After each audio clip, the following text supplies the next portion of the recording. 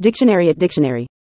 In a general sense, write down is a phrasal verb that denotes the action of recording or transcribing information, thoughts, or ideas in written form. It involves the act of making notes or documenting details, often for the purpose of preserving or referencing them at a later time. Write down can encompass various contexts, from taking notes in a meeting or class to jotting down important information, instructions, or creative inspirations. It reflects the practice of transferring thoughts or data from one's mind to a written medium, facilitating organization, memory, and communication. This term highlights the value of written documentation in capturing and retaining important information for personal, academic, or professional purposes.